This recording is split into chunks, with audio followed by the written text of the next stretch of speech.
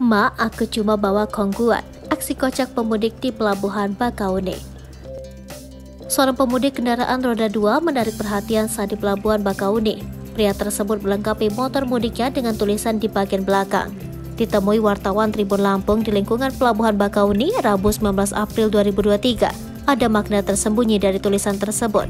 Ia berharap bisa membonceng seorang wanita karena di momen mudik ini ia pulang kampung seorang diri. Siapa sangka, Tulisan tersebut cukup menghibur bagi yang membaca.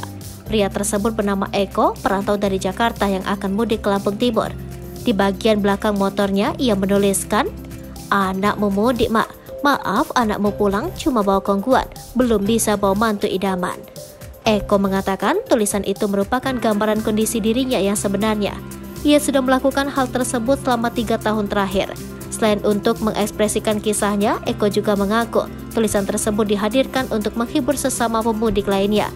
Melalui tulisan yang ia wujudkan itu, Eko berharap pada pemudik lebaran tahun selanjutnya. Ia berharap ada rekan yang dirinya tumpangi di jok belakang motornya. Eko tidak sendiri, ternyata ada lagi yang melakukan aksi kocak di Pelabuhan Bakauni. Seperti Mudik 2023, Sampurane Ma, anak landang muurung bisa gawa calon mantu, soalnya duit ente.